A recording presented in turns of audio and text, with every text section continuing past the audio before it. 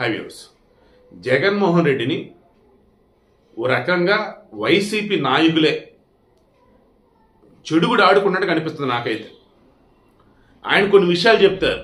ఆయన వచ్చి cross check చేసుకోవడం వాళ్ళు చెప్పింది చెప్తాడు.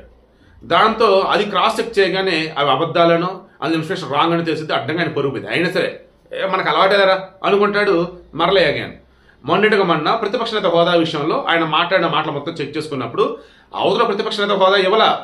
జస్ట్ అపోజిషన్ అన్నట్టుగా ఉంచున్నారు.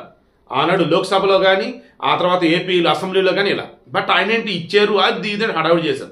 అడ్డగా పరుగు పైన ఏకంగా రాజ్యసభలో ఉన్నటువంటి పర్వతనేని ఉపేంద్రని తీసుకొచ్చి ఆయన లోక్సభలో పెట్టాడు. జగన్. అది అంత జ్ఞానం అన్నమాట. ఇప్పుడు లేటెస్ట్గా. వాళ్ళ పార్టీకి సంబంధించి మాజీ ఎమ్మెల్యే గోపిరెడ్డి శ్రీనివాసరెడ్డి ఎవరైనా నర్సరాపేట మాజీ ఎమ్మెల్యే. వీళ్ళు కూడా హత్యకు సంబంధించి ఏం చెప్పాడు తెలుసా? రషీద్ని చంపింది జిలానియే. కానీ జిలానీ చంపాలని అనుకున్నది రషీద్ను కాదు వేరే వ్యక్తిని. రెండు వేల ఇరవై రెండులో ఈ రషీదు జిలాని చాలా క్లోజ్గా ఉన్నారు అప్పటి వరకు. పిఎస్ ఖాన్ దగ్గర ఇద్దరు అనుచరులుగా ఉంటూ. పార్టీ చేసుకున్న మూమెంట్లో జిలాని వేరే వాళ్ళని పా- కొట్టాడు అనమాట బీరు బాటిల్తో ఆ ఇష్యూ తర్వాత రషీద్ వచ్చి జిలాని ఇంటికి మరలా వాళ్ళ అన్నను కొట్టి బైక్ తగలబెట్టి అలా చేశాడు. ఆ తర్వాత జిలాని వెళ్ళి కేసు పెడదామని చూస్తే నీ మీద హత్యాత్మ కేసు పెడుతున్నారా బాబు అని చెప్పి కేసు పెట్టి లోపలేశారు. దెన్ వైసీపీల సాయపడి ఎవరు చేయాలి. దాంతో జిలాని జైల్లో ఉండి బయటకు వచ్చిన తర్వాత ఇక ఈ వైసీపీలో మనకు ఉపయోగం లేదని అప్పుడు టీడీపీలో జాయిన్ అయ్యాడు ఇక ఆ తర్వాత కూడా ముస్లిం నాయకుల మధ్య గొడవలు అయితే అక్కడ కూడా మరల ఇతను పేరు చేర్చారు. సెటిల్మెంట్ అన్నట్టుగా రషీద్కి జిలానికి మధ్య కొన్ని చర్చలు కూడా నడుచున్నాయి. కానీ సఫలీకృతం కాల. ఇక ఇప్పుడు ఏమైంది? జిలాని చంపాలనుకున్నది ఆ గొడవలో ఎవరి వల్ల అయితే అతను జైలు పాలాడు అతను అని చెప్పేసి గోపిరెడ్డి శ్రీనివాసుడు ఇండైరెక్ట్గా చెప్తున్నాడు. రషీద్ని మాత్రం కాదు అని చెప్పేసి. పోనీ రషీద్ని చంపిన గంజాయి మత్తులో ఇక ఆ మూమెంట్లో ఆల్రెడీ రషీద్ కాకుండా వేరే అతను చంపడానికి రెడీగా తెచ్చుకున్నాడు. బోండాల కత్తిని. ఆ గంజాయి మొత్తం అతను కనిపించలేదు రషీద్ కనిపించలేదు. దాంతో రషీద్ని చంపాడని చెప్పేసి గోపిరెడ్డి శ్రీనివాస్ రెడ్డి చెప్తున్నాడు.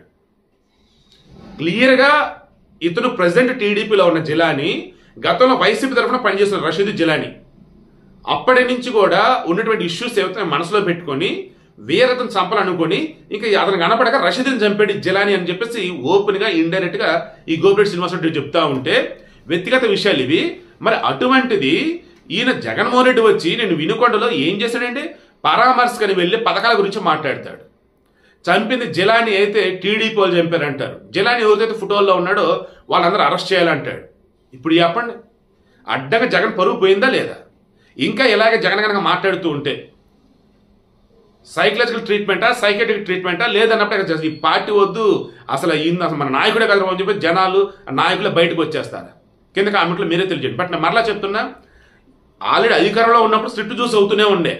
అధికారం పోయిన తర్వాత నేను ఓన్గా రెడీ చేసుకోవాలి కదా కంటెంట్. అలా కాకుండా వాళ్ళు చెప్పింది వీళ్ళు చెప్పింది చెప్పుకుంటా పోతే నిన్న కానీ మీడియా ముందు మాట్లాడుతుంటే మధ్యలో కళ్యాణ్ అబ్బా గుర్తుండదు అని చెప్పేసి అన్నట్టుగా అలా అయిపోయింది. ఇటువంటి వాళ్ళు ఏం నాయకులు ఇటువంటి అతను ఎలా నమ్ముతారంటే అర్థం కావట్లేదు.